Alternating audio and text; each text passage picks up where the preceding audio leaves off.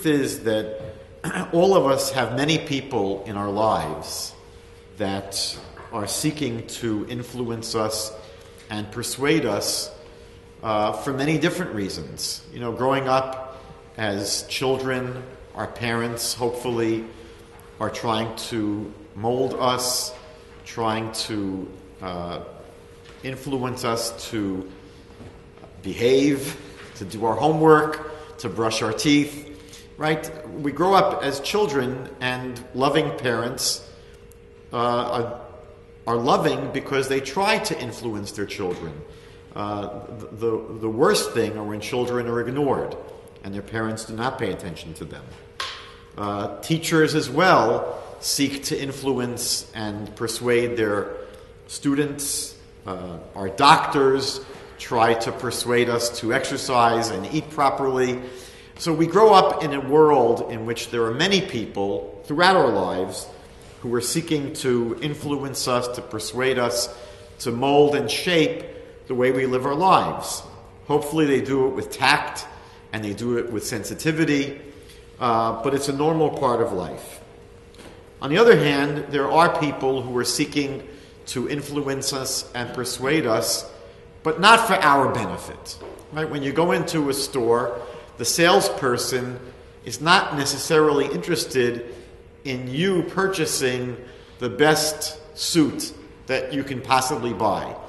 The salesperson is, influ- is interested in having you purchase a suit in their store, right? It's very unlikely that you're going to go to uh, the shopping center and you know one of the salespeople is going to tell you, you know what? I don't think that our merchandise is really the best for you. I'd recommend that you go to our competitors at the other end of the mall. That's not going to happen. And if you go to a place to purchase a car, you know, you're probably not going to find a salesperson who's going to tell you, you know what, I'm not quite sure we have the best cars for you, but if you go about three miles down the road, our competitors probably can take care of you much better. Salespeople are interested in making sales, and they're not interested in necessarily making sure that you have the very best product for you. Their agenda, their goal, their interest is self interest, as opposed to our teachers, our parents, our doctors, who are trying to influence us and persuade us for our benefit. For our benefit. What we'll be looking at tonight is the phenomenon of not necessarily salespeople in the traditional sense of the word, we're not going to be looking at uh, traditional salespeople, but we'll be looking at a, a different kind of salesperson, which we'll be referring to as missionary and cult recruiters. And the truth is that missionary and cult recruiters are not interested in helping us make the right kinds of decisions for ourselves. They're not really interested in having a genuine exchange of ideas. The person who is seeking to convert us is not really interested in hearing what we believe. They're not really interested in having an open dialogue. They have a one track mind, and it's basically to sell, to convince. So it's important to understand that the people we'll be encountering, cult recruiters, missionaries, are essentially salespeople. That is what they're interested in doing. They're interested in persuading us to accept their spiritual path and their beliefs. The scientist Louis Pasteur once famously quipped that fortune favors the mind that's prepared. Fortune favors the mind that's prepared. And so, understanding the influence tactics of missionaries and cult recruiters and using our intuitive critical thinking skills are vital components to be able to resist their agenda. Tonight, what we're going to try to do is outline some of the tactics that are employed by missionaries and cult recruiters. And by familiarizing ourselves with these tactics, we can be better prepared when we encounter them. That's our goal for tonight. Before we begin, I think it's very important for me to clarify that not all missionaries are paid professionals. We often make that mistake of assuming that missionaries are people that work for a missionary organization, they have an office, they report to a superior, and that's really not the case. The truth is that for most of us, the missionaries we will encounter during our lifetimes are friends, neighbors, sometimes even relatives, business associates, classmates, co workers, people that are part of our lives, people that we know, people that we have relationships with, and they will seek to influence us to embrace their faith. And it's important to understand that these people begin with a huge advantage over the paid professional missionary. The paid professional missionary basically is seen by most of us as intrusive. They're often seen as the spiritual equivalent, as the kind of person that calls you up at home, cold calling to make sales. Uh, we don't welcome these kind of intrusions into our lives. We don't welcome the kind of person that might stop us on the street when we're busy rushing off to a meeting, or the kind of person that might knock on the door of our home. We don't know who they are, we're not interested in, in what they have to offer, and yet we find that professional missionaries are often intrusive. And so they have to overcome the tremendous advantage that our friends and families and neighbors and business associates have, which is they already have a relationship. They don't need to develop one. One of the things that social psychologists speak about is what they refer to as the illusion of invulnerability. And it affects almost all people. And what social psychologists have found in extensive studies is that people are much more likely to assume and believe that bad things will happen to other people rather than to themselves. For example, in many, many studies, people report that they're much less likely to believe that they will be sued they assume that if anyone's going to get sued, it's going to be other people. People, when they're surveyed and polled, will report that they don't believe that they will ever get divorced. It's going to happen to other people. We tend to think that others will become victims of crime. When people are asked, Do you ever see yourself maybe becoming a victim of crime? Very people think if it happens to them. We always assume it will happen to others people tend to think that others will contact, contract serious diseases, uh, that will experience natural disasters, and an entire list of the kind of bad things that happen in life. Most people do not believe it'll happen to them. Obviously, it's going to happen to some people, but most of us assume it only happens to others. Of course, this also applies to people's assessment of how impervious they are to social influence and persuasion. Most people tend to report that they are immune to the kind of tactics that are used by influencers and persuaders, and they tend to see themselves as much more capable of seeing through the ploys and the tactics that are used by salespeople, by manipulators, by persuaders, by conveyors and purveyors of propaganda, etc. Most people tend to believe that they know what influence peddlers are up to, and that we can see past their tactics, and we believe that the only ones that will be influenced them by them are others. There was a study that was done by Jonah Berger, who was a professor at the Wharton School of Business at the University of Pennsylvania, in conjunction with the professor, uh, professor at Princeton, Emily Pronin. And they studied the factors that go into influencing car purchases. When people purchase a car, what factors go into them making that purchase? And they looked at a whole range of factors that people assume influence decisions to purchase a new car. And they range from factors like the price of the car, the gas mileage, the safety rating, reliability, as well as social influences like what do our friends think of a car like this? Or is this a prestige car? Or a cool car? Or a car that has high status? And what these two professors found is that almost everyone they surveyed believed that social influence, like factors such as what will my friends and family think of this car? Or is this car cool or high status? Almost everyone believed that these are important factors for everyone except for themselves. Most people reported that for themselves, these are not important factors at all.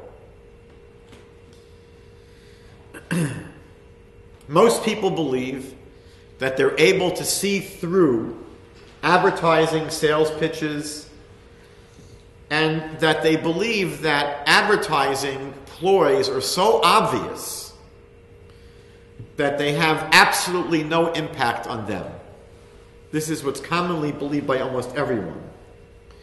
They believe that advertising does not affect them. Most people believe they are totally immune to advertising. However, this is not how advertisers feel.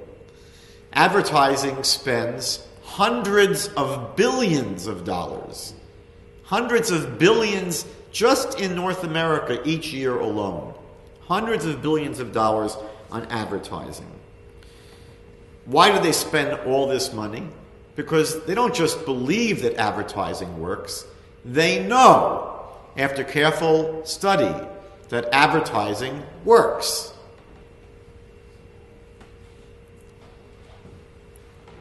And yet, most people agree with them. They say, yes, advertising does work, just not on me, on everyone else in the world. There's a new field out, it's a relatively new field called consumer or retail anthropology. These are people that put us under a microscope. And when we enter a store, they have cameras that study the way we walk, what we look at, they study our eye movements, they measure exactly how long people stay in stores, and they compare how long men stay versus women, categorized by age, they will measure very carefully how long it takes people to purchase an item after first seeing the sales sticker. These are people that study us extremely carefully, very scientifically, and they know much more about ourselves than we do. And yet, we still convince ourselves that we are much more sophisticated than they are. And so, this illusion of invulnerability, this illusion of invincibility, is something that plagues all of us. It's something that's very difficult to escape.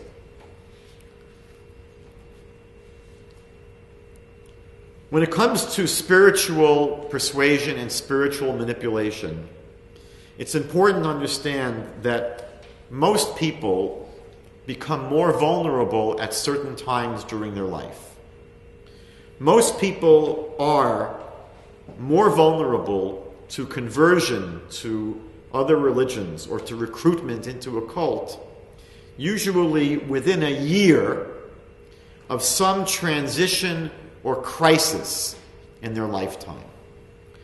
It might be something as innocent as moving to a new city, it's transition, or someone retiring.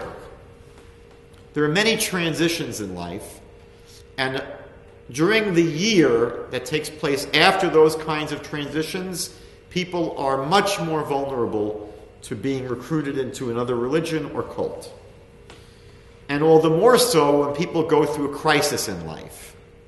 If they go through an illness or a close relative has gone through an illness, they have a death in the family, a loss of a job, a breakup of a relationship, any kind of crisis that people go through in life renders them much more vulnerable to being influenced to convert to another religion. Before we actually start to study tonight the kind of tactics that are used by manipulators and influencers, it's important to understand that there are things that we can do to build a strong foundation so we're less likely to be influenced by others. Number one is to have a strong knowledge base of Torah and the beliefs of Judaism.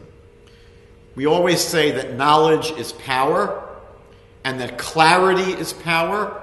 And so the more clear we are about who we are, what we believe, why we believe it, and we have our facts clear, and we have our knowledge that's developed deeply, it's less likely not impossible, but less likely that we will be influenced and persuaded by others.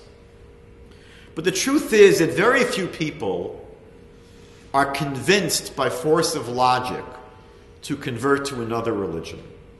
It's not common that people are simply persuaded by the force of a logical argument to change their religions.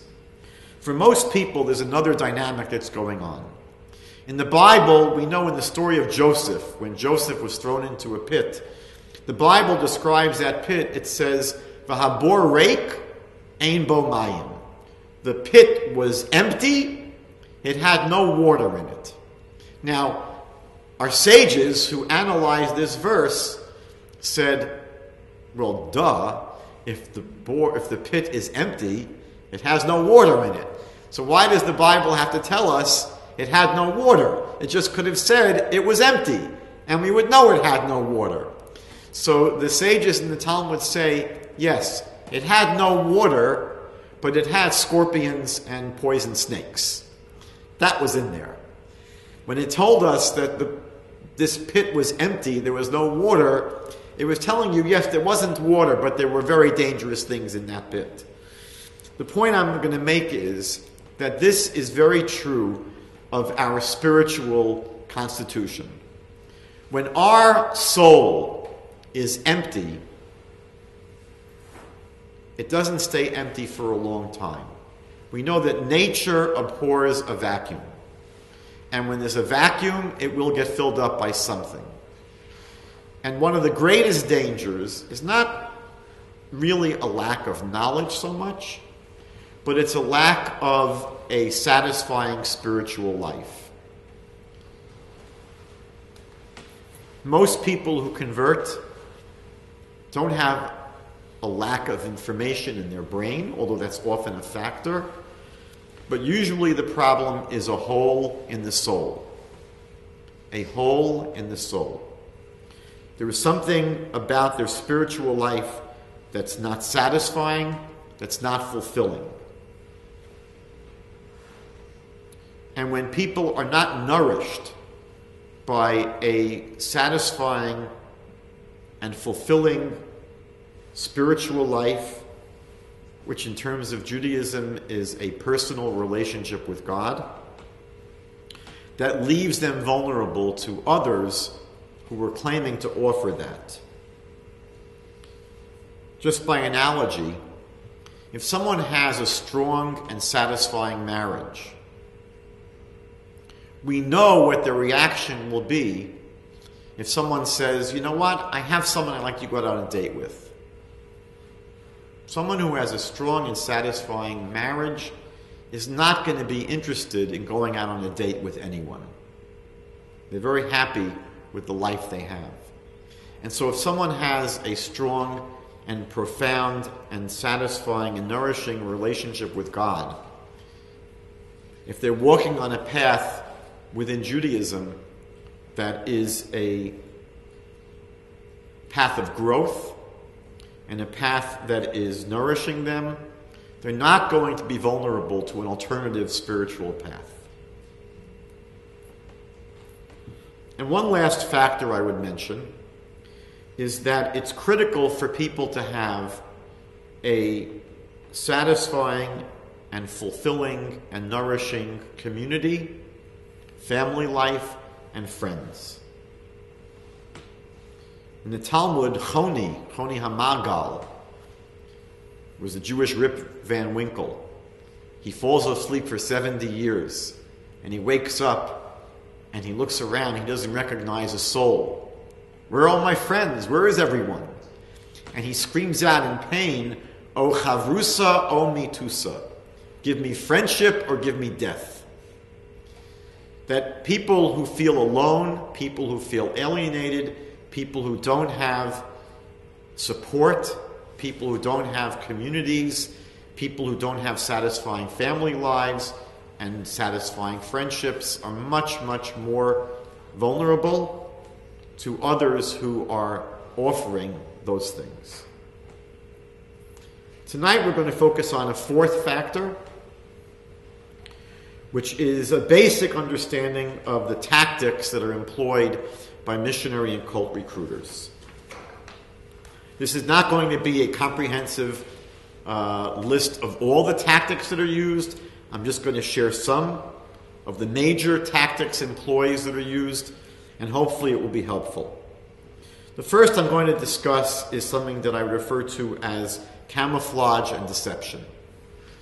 When I was living in Philadelphia in the early 1980s, I was traveling on a city bus and I ran into a fellow who struck up a conversation. And he noticed my kippah. Figure here's a Jewish fellow, and he strikes up a conversation telling me about the synagogue he goes to and about his rabbi. And he was, as far as I understood, creating the impression that he's just a fellow Jew living in Philadelphia. What he didn't bother telling me was that his synagogue was a messianic synagogue. It was a Jews for Jesus synagogue. So what he was basically doing was camouflaging who he really was. There wasn't full disclosure.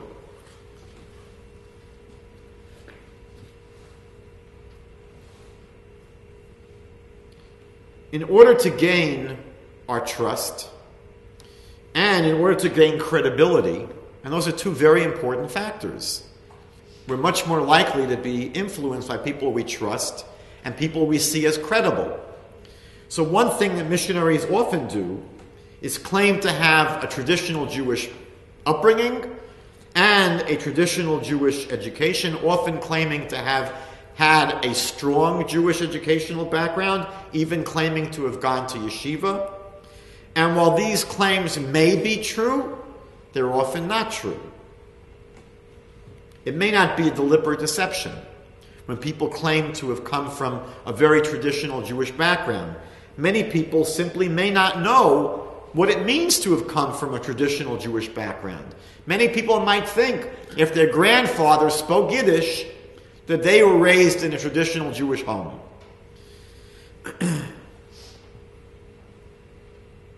One of the things I've been doing for the past 30 years is every summer I attend one of the major Messianic Jewish conferences in North America. And there are several hundred to several thousand people at these conferences. And often, this is what I'm told. People tell me that they grew up in an Orthodox Jewish home and they were raised in a traditional Jewish family. And I say, Oh, that's great. And I ask them, when you were raised as a kid, what was your favorite food that you ate uh, on Shabbat? And people would often say, Oh, I love my mother's chicken soup. That was the best. And I'd say to them, Do you remember what blessing you recited when you had chicken soup? And I'm met with blank stares. Now, if someone grew up in a traditional Jewish home that was Torah observant, so they're reciting blessings on food from the time they can speak practically. Five and six year old kids are trained in reciting blessings. There aren't that many blessings to learn, there's a handful. So anyone that grew up for 5, 10, 15 years eating their mother's chicken soup would know exactly what blessing it was, even if they had not been reciting those blessings for 10 or 15 years. So it's a very, very simple way of really puncturing the claim when people say that they grew up in a traditional Jewish household. Often, what happens is people will exaggerate or inflate the degree of their Jewish education. Again, the purpose of this is to gain credibility. The implied message is, and this is an important thing to understand, the implied message is that yes, I went to yeshiva, I had a strong Jewish education, and I came to believe in Jesus. Meaning that I must have been able to overcome all the traditional Jewish objections to belief in Jesus. After all, I had a strong Jewish education. I knew quite a bit. I really knew the entire Bible practically. So the claim to have had a strong Jewish educational background is a way of really circumventing, uh, you know, the problem of ignorance leading to a faith in Christianity. Meaning that if I came to believe in Jesus and I had a strong Jewish educational background, don't worry. You don't need to bother yourself with years of research. I did it for you. What some missionaries may do is present what they will claim to be the traditional Jewish objections to Christianity. They'll say, Well, let me explain to you why Jews don't accept our beliefs. Our beliefs, meaning those of us who've come to believe in Jesus. Uh, they'll say, Well, the traditional Jewish objection might be X, Y, or Z, or Z. And then they will claim to show you the problems with all those Jewish traditional objections. What is the problem with this offer of help on their part? So I'll give you an analogy. If you imagine that you're on trial for a serious crime, and the prosecuting attorney, the crown attorney, presents the case against you and says to the jury and to the judge, Look, Your Honor, and members of the jury, this person had the motive for committing, this, say, this murder, God forbid, and the person had the opportunity for committing this crime, and here's the evidence that they committed the crime.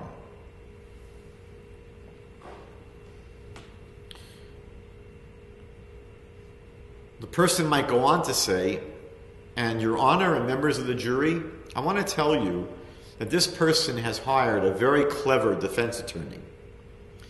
And this is what their defense attorney is going to say. And they go through, they rehearse three or four of the points that they claim your defense attorney is going to offer on your defense. And then they're going to refute each one of those points. And then the judge pronounces you guilty. And you're going to say, Guilty? My attorney never got a chance to present my side of the story. And the judge says, What do you mean? The, the prosecutor just told us exactly what your attorney is going to say. So, what, what you're going to say is, Excuse me, but I would prefer that you heard my attorney's point of view from him and not, not from the prosecutor. So, you're not going to hear a fair presentation of traditional Jewish objections to Christian beliefs from the Christian missionary, his or herself. What you want to do is get those objections from knowledgeable and believing Jews themselves. The second technique that's used by both missionaries and cult recruiters is called traditionally love bombing. Salespeople will often flatter and charm prospective customers to prime their, their receptivity. Obviously, you're much more likely to make a purchase from someone who you like and who you feel a connection to. So, what is done by both salespeople and skilled missionaries and cult recruiters is to try to build rapport, to compliment people, to use your name quite a bit. It's flattering when someone remembers your name. So often, when you introduce yourself to people, they forget it after 30 seconds. Someone that's skilled might mention your name several times during a conversation. They might smile at you a lot. It's an incredibly powerful rapport builder is to smile at people. There may be touching of a non sexual nature when a person puts their hand on your wrist or on your arm. That builds a certain connection and rapport. They may show you that you have a lot of things in common. Sometimes these are real, sometimes they're not real. It's not difficult to fake things that you have in common. There was a study done where people were trying to raise money for cystic fibrosis research. And they had a group of university students who were given uh, a survey to fill out about something very different. They weren't aware of what would be happening next. And after they filled out the survey, uh, the students were asked if they would contribute money to the cystic fibrosis research. And what the researchers found was that if the person making the request had the same first name as the person they were asking to, they were appealing to, people gave twice as much money. Now, it's not difficult to fake that. Here, the researchers knew the people's names because they just filled out a survey about something else. So the people asking were able to put on a name tag, having Lisa or Debbie or Robert when they were approaching the people with these names. Uh, but when we meet people, it's not difficult to feign this kind of commonality. This is often done by salespeople. Uh, salespeople have discovered that it's easy to find something you can have in common. You ask people where they're from. I'm from uh, Ottawa. Oh, my uncle lives in Ottawa. Uh, where are you from? I'm visiting from California. California, my aunt teaches at a high school in California. There's no way these people will understand or know that you're not telling the truth, but it's very easy to say something to give the impression that you have a lot in common. Missionary and cult recruiters invest a tremendous amount of energy in building friendships and companionship. The question is are these real friendships and real companionships, or are they cultivated in order to appear to be real friendships? It's easy for people to do favors, to offer to take people shopping. This often happens when people first encounter Christian missionaries They'll be offered many kinds of favors, helping drive you to their congregation if you don't have a car, giving gifts, giving you a Bible. And what happens is, once you receive favors and gifts from people, it's much more difficult to say no to them. It's much more difficult to resist anything they ask you to do. Join us for Bible study. How do you turn people down for that simple request after they've given you a nice gift or they've done you a favor or they've been developing a friendship or relationship. These cultivated relationships can seem very real and can actually be intoxicating, especially to people who are starving for these kinds of relationships. But it's important to remember they may not be real friendships. They may be tactical friendships. They may be friendships that are cultivated in order to carry influence. And one of the ways that you can test whether these friendships are real is to see what happens if you don't accept their beliefs. I often tell this to people in counseling because people often come to me and they say that they're part of a congregation where the people are so friendly and so warm and they feel so much camaraderie and I say, Do you think that these people will still accept you if you tell them now that you've rejected belief in Jesus?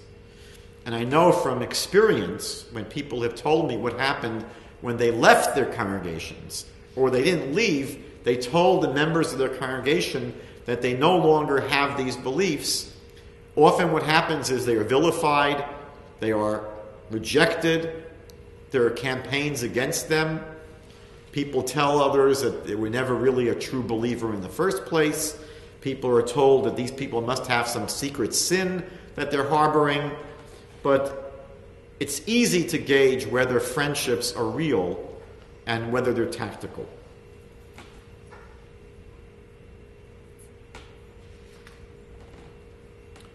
It's always important to remember that just because people are friendly and nice and warm, it doesn't prove that their beliefs are true. People can be friendly and warm and nice and helpful, but everything they believe may not be true. It may be false. A third tactic that's employed all across the board is what's traditionally referred to as good cop, bad cop. What happens in the traditional classical good cop, bad cop routine is that the bad cop, so to speak, is threatening and intimidating. He threatens the prisoner, intimidates the prisoner, is not at all nice. The good cop is supportive. He seems to protect the prisoner from the bad cop. And what happens is the prisoner or the subject in order to maintain the goodwill of the good cop, is much more likely to cooperate with anything that's requested. That's the dynamic of good cop, bad cop. And missionaries will often use this dynamic in order to influence and persuade. For example, the missionary might denounce the bad Christians, the evil Christians, the anti Semitic Christians. They may speak about the Crusades and the pogroms and the Holocaust and the Inquisition and all the Christians that have been anti Israel and the people that are behind the BDS movement today. So those are the bad cops. But we, we love Israel. We support Israel. We love Jews. We support Jews. And so that dynamic right there renders the Jewish person much more likely to feel beholden. Look how nice this person is. They don't hate me. Look how wonderful they are. They support Israel.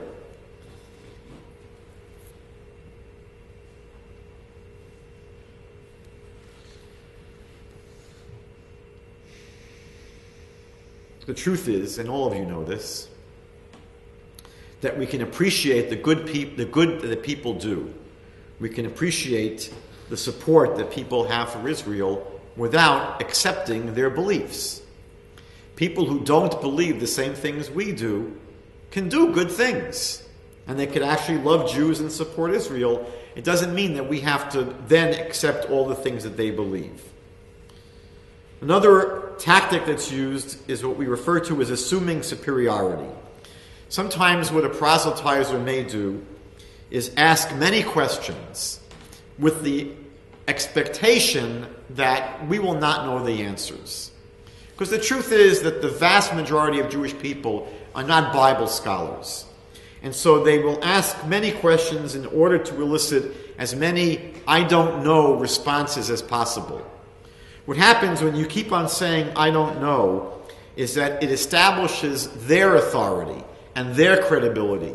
You're put in a position of being someone who is ignorant, who's someone who needs to be their student they're able to assume the posture of teacher.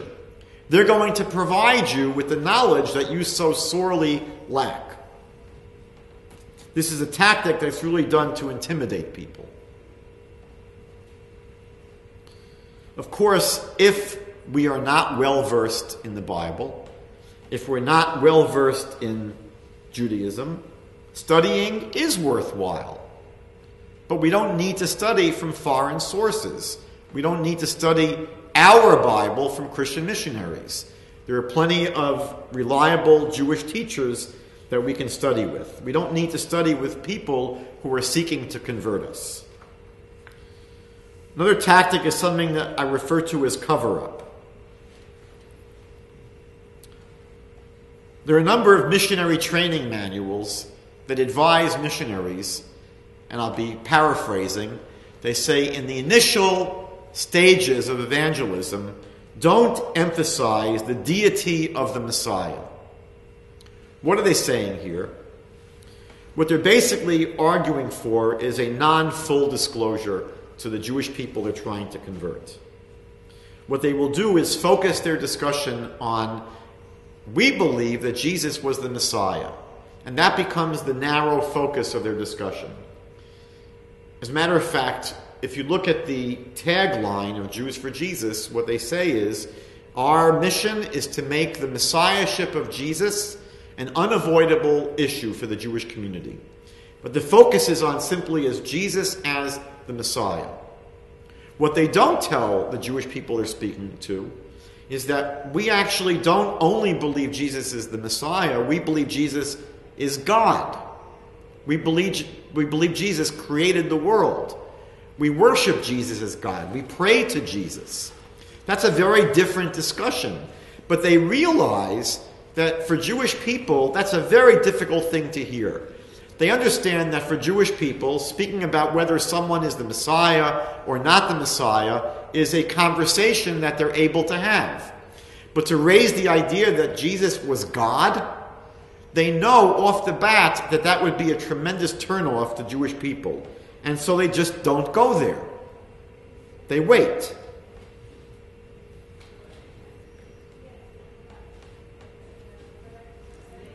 They might often gloss over uncomfortable Christian beliefs, like the idea, which is clearly taught in the Christian Bible, that all non Christians will burn in hell forever.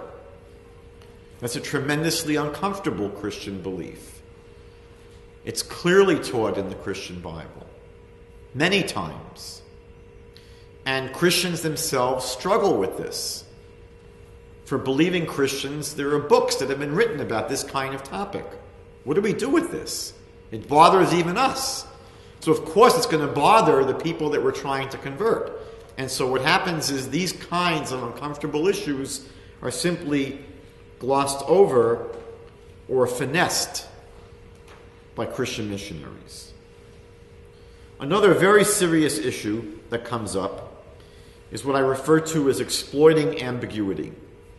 What this means is that we all find ourselves today living in a very confusing and frightening world. We live in a world where very little is black and white, and the world that we live in is to a great extent very gray. And living in a world of grays is not easy. It's often confusing, it's difficult. What do I believe? What's right? What's wrong? And people lose their bearings. It's uncomfortable living in a world that's ambiguous. It's uncomfortable living in a world that's gray. It's uncomfortable living in a world where things are not crystal clear. And missionaries capitalize on this problem. Psychologists speak about a manipulative approach that they refer to as fear then relief. It's called the fear then relief technique. And what missionaries often do is prey on our emotions by amplifying our fears in life. There are plenty of things to be afraid of in the world today. We can be afraid of global terrorism. We can be afraid of crime. We can be afraid of war. We can be afraid of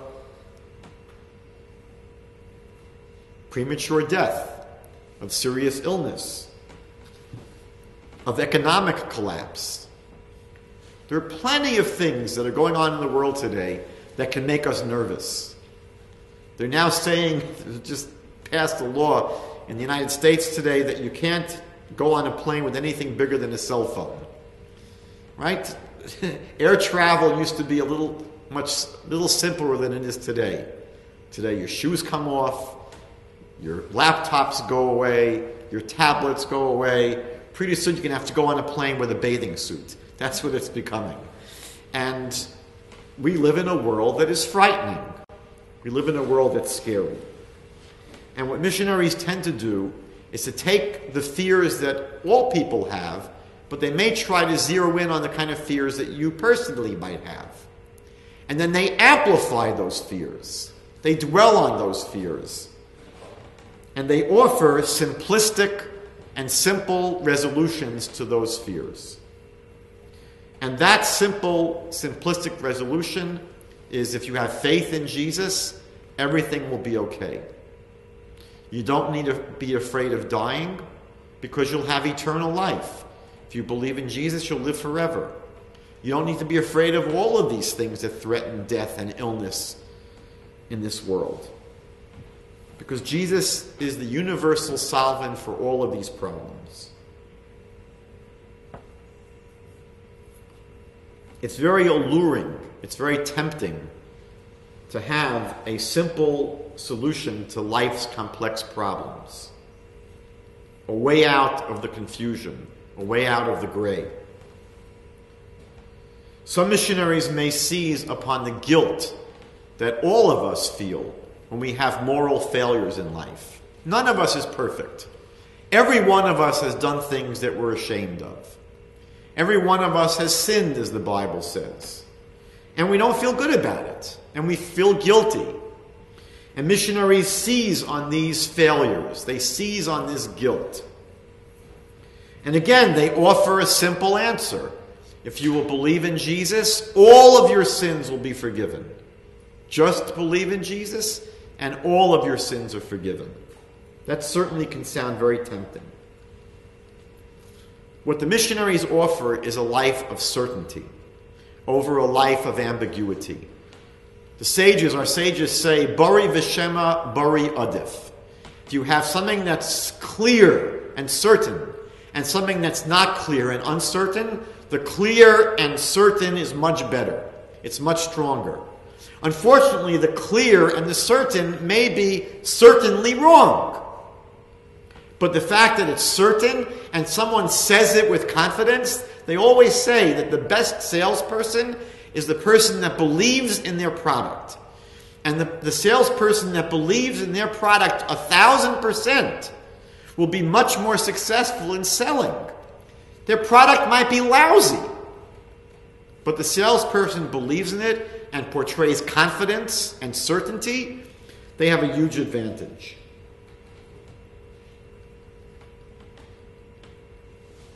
But the truth is that there are no simple solutions to life's problems. And what is the proof? The proof is that when you get to know Christians, they suffer from the same problems that all human beings have.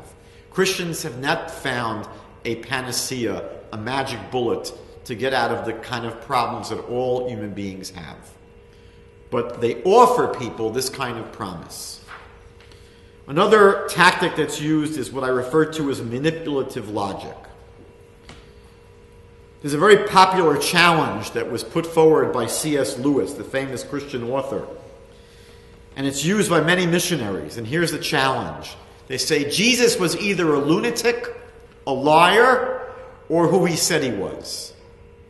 And the claim is that he claimed to be God. I don't believe that Jesus did claim to be God, but this is the belief of Christian missionaries that Jesus claimed to be God. And so they offer this challenge that Jesus was either who he said he was, he is the Lord, or he must have been a lunatic or a liar. That's the equation that's put forward. The assumption is that you're not going to feel comfortable. It's not polite. It wouldn't be politically correct to say Jesus was a liar or Jesus was a lunatic. You can't say those things. So then you're forced into the third option, which is okay, he must have been God. Now, believe it or not, people actually fall for this kind of logic, what I call manipulative or faulty logic. The fact is that you're not forced into the third option. It's like a parent who says to their child that doesn't want to put on their winter coat, Oh, you don't want to put on your blue coat or you don't want to put on your green coat? And the child says, oh, I don't want to put on the green one. Well, then take the blue one. Now, the, the, the presupposition here is that you, you want to put on some coat, but the child was resisting anything. And the parent very cleverly tricks the child, basically. It's a good kind of trickery, a good kind of manipulation, by narrowing down the choices. Right? The choices is not the blue coat, the green coat, or no coat. What the parent says is, oh, you don't want to put on the blue one or the green one. So the missionary has artificially narrowed our choices. The fact of the matter is that there are other options than saying Jesus was a lunatic or a liar. You could say that he was mistaken. He was wrong about himself. He was not correct when he thought that he was the Messiah. Doesn't mean that he was evil. It doesn't mean he was insane. It doesn't mean he was a liar. It could mean that he was wrong. He was mistaken. He was misled about himself. But this kind of manipulative logic is something that's often used. A related problem is what I call short circuiting thought. There are ways in which manipulators short circuit our thinking process. What will sometimes happen is that missionaries will denigrate any desire we have to carefully evaluate and examine their claims. We may want to think about it. We may want to study. We may want to examine. We may want to have them prove it in, a, in an indisputable way. And the missionary might say, you know what, you're too much into your head. You've got to open up your heart. Or the missionary may say, you're too proud. A person that wants to use their head, you're too proud. And it's a manip- manipulative way of getting you not to think. One thing that I do with missionaries is ask them to tell me how many times does the Torah, does the Jewish Bible tell us that we should follow our hearts? How many times does the Jewish Bible tell us that when we're going through our lives, we should base our lives upon our emotions, upon our hearts? After all, the missionary is saying you're too much into your head. You have to open up your heart Of course, the answer is never, because our Bible repeatedly warns us against following our hearts. In the Shema that we say three times a day, the Bible says, "Velo taturu acharei levavchem." Don't go astray after your heart. The prophets warn your heart is very deceptive; it will lead you astray. So our Bible never tells us to follow our hearts. What our Bible tells us is to follow our mind, because that's the tool that God gave us for navigating through life. If you want to know what's right and what's wrong, don't base it upon how you feel. Base it upon your mind, your ability to think and reason. We were hardwired as human beings, we were hardwired to appreciate truth. We were hardwired to be repelled by falsehood. That's how God created us. We have an attraction to truth, we have a repulsion to that which is false. The Torah says in the book of Deuteronomy, chapter 4, V'yadata hayom, you shall know this day. You have to know things with your mind. But there's a problem with your mind. It's a problem with your brain. The mind has no real power or strength. By analogy, you can think about our mind as the steering wheel of a car. What your mind can do is to tell you which way to steer the car, which way to steer your life. But if all you had was a steering wheel, you would never get anywhere. What you need is gasoline. You need an engine. And the gasoline is not your brain. Your brain is basically impotent. Your brain is very good at pointing you in the right direction. What gets us to do things in life, what gets us to move, what gets us to get up and go, that's our emotion. And so that's why the Bible says in Deuteronomy chapter 4, you shall know this day. You have to know what to do. But then the Bible says, but then bring that knowledge to your heart. Once you know something, then what you want to do is marshal your emotions behind what you know. Once you're pointing that car in the right direction, then you could push on the gas pedal. It's not as if we ignore our emotions, but we want to put them in the proper place. But the missionary encourages us not to think too much, to use our heart, to open our heart. The missionary often pressures us into making a quick decision, a quick commitment.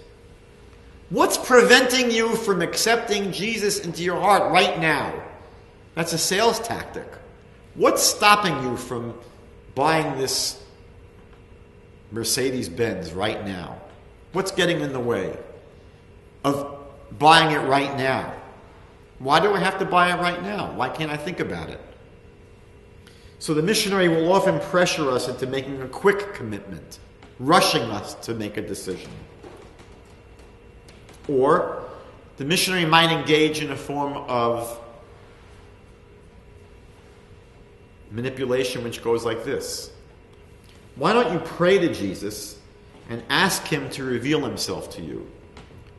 If you have a problem, if you're not sure, why don't you pray to him and ask him to reveal himself to you? Of course, this is like putting the cart before the horse. Once you pray to Jesus, you're accepting him already.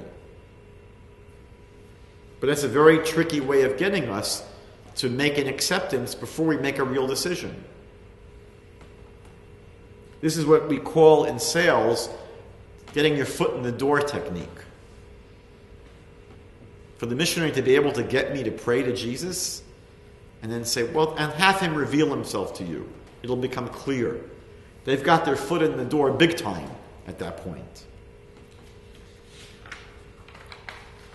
Experts on persuasion, like Cialdini, point out that making a simple request, a painless request, like, can you fill out this questionnaire? Or maybe could you accept this Bible? Or how about joining us for a Bible study? Things that are easy to do. That once we accede to a simple request, it's infinitely easier for people to make the next request that's much more complicated and much more difficult. So beware of making simple commitments. Beware of doing something which seems painless and harmless. They found that when the Koreans captured American soldiers in the Korean War and they wanted them to make treasonous statements against the United States, they would never have been able to get them to do that immediately. They first got them to do something which was simple and easy. Like, can you write a postcard to your family saying that you're okay? Now, the truth is that soldiers are not supposed to do anything that they're requested to do by the enemy other than give their name, rank, and serial number. But what the Koreans did in order to manipulate American soldiers was to make painless requests, simple requests harmless requests. And they found that once these soldiers willing to comply in the most simple, innocent ways with their captors, it was much easier to then take them to the next step, which was writing treasonous statements against their government. Finally, missionaries engage in what I refer to as manipulated spirituality. They might ask us to ask God for a sign. If you're having difficulty accepting Jesus into your heart, ask God for a sign. He'll share a sign with you, He'll give you a sign. And then what they do is they interpret virtually anything as a sign that confirms their belief in Jesus. Because everything that we go through in life can be interpreted. Anything can be interpreted, even the most innocent experiences. Or missionaries might fabricate or manufacture miracles. They might tell you stories of miracles that happened to them. And these miracles may not necessarily be true because people are fascinated by miracles. They're taken in by miracles. And these miraculous events may be either totally fabricated or exaggerated. Of course, missionaries don't encourage you to think about whether miracles prove anything. Every religion in the world has miracles that they experience. So we know one thing that miracles can never prove which religion is true. Our Bible in Deuteronomy chapter 13 says that false prophets can do miracles. The Bible there says, because God is testing us, to see if we'll be loyal to him or we'll be taken in by the miracles of the false prophet. And finally, missionaries will often make the confusing claim that passion implies truth. People are often very taken in by passion. If you see Christians in their church services crying and weeping and falling on the floor, there's an assumption that people erroneously make that it must be true if they feel it so strongly, if they're, if they're so vibrant in their faith. The more forceful people make an argument, the more it creates the impression it must be true. And what this does is it confuses emotion with credibility. Emotion never proves credibility or truth we know that people can get very, very emotional about things that are totally not true. So, in conclusion, we should realize that missionaries will use all or some of these techniques that we discussed tonight, and maybe even others. One thing that many missionaries will do is try to wear you down. They won't give up. They'll keep on calling you. They'll keep on asking you to come to their services. They'll keep on inviting you to Bible study. And they hope to ultimately wear you down until you succumb and you give in. So, what do we need to know? So, we need to rely on our instincts. God has blessed us and has given us instincts for a reason. If at any time in life you feel uneasy about anything,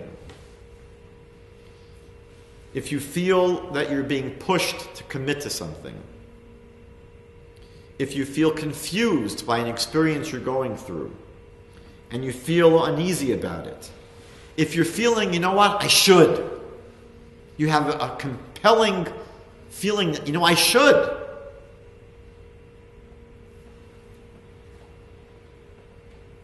and you don't really feel it's the right thing to do. You're being pulled. Maybe I should join this church, but I don't feel right about it. Anytime you're having these feelings of uneasiness, take a break. Separate yourself from that environment. Speak to someone. Get a second opinion. Any time in life you're going to make an important decision, look both ways before you cross the street. You don't need to do that for trivial things in life. If you're going to buy a sweater, you don't need to do weeks of research because the worst that'll happen is it'll be out $50. But when it comes to big decisions in life, like who we're going to marry, what religion we're going to accept if it's not the one that we were raised in, even things like what college I'm going to end up going to. Look both ways. Ask people for advice. Get a second opinion. If you go to your doctor one day and he says, you know, we got your x rays, we're going to have to amputate your leg, you don't say, can, when can we book the first appointment? You're going to say, you know, doc, I think I want to get a second opinion. If you're going to buy a house in Toronto, you're spending close to a million dollars now. You don't want to buy it because it looks nice. You're probably going to want to hire a home inspector to make sure that the foundation is okay, the roof's okay, the boiler's okay. So, anytime that there's a big decision in life, be careful, look both ways, get a second opinion. Do your research. There are groups out in the world today called LGATs, Large Group Awareness Training Seminars. Your friend might invite you to a weekend retreat. The purpose might be to overcome stress, to learn how to improve relationships, to gain more self esteem. These sound like great things. You may have a great time at this kind of experience. And then there's an invitation to sign up for a six week course, which is going to cost a bit more money. So maybe before you make that second step, do a little bit of research. Go online and research this organization. You might end up seeing that, you know what? There are lots and lots of red flags about this kind of group. Lots of red flags. If you do this research before you get sucked in totally, you have a chance of pulling yourself out. But after you've gone to the second program, the six week seminar, and then you've gone away for the 12 week seminar, and you've spent thousands and thousands of dollars, and you've ended up now volunteering for this group, and now you become a volunteer for free, and you're investing hours and hours and hours of your time each week. And someone says to you, you know what? I heard about this group that you're in, and there's a lot of problems with it. It's going to be very difficult for you to pull yourself away. So, as soon as you begin to think about joining something, committing yourself to something, do your research. And if it turns out that this opportunity has lots of red flags, there are hundreds of stories of people who've been through this experience and they've had huge problems. There are articles that have been written about this group, scandals about this group. Maybe think about whether or not it's possible to learn to have self esteem in a program where there are no red flags. Maybe learn about how to manage your stress in a program where there are no complaints that have been filed. Maybe it's possible to learn how to better your relationships in a seminar where no one has had complaints. But that's the importance of doing research. And you should realize that once you're in a group that's trying to manipulate you, they will have pat answers to every single complaint that is raised against them. Do a cost benefit analysis.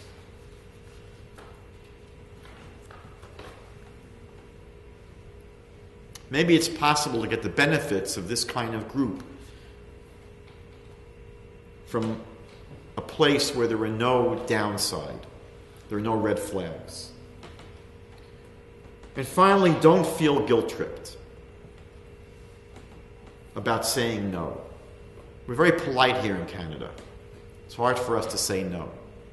But don't feel guilt tripped about saying no, no thank you, I'm not interested. There's no need to be rude to people, there's no need to be insulting. But if it turns out that we are being sold and we are being manipulated, it's perfectly legitimate for us to say, I'm not interested, no thank you, have a nice day, Shalom Aleichem.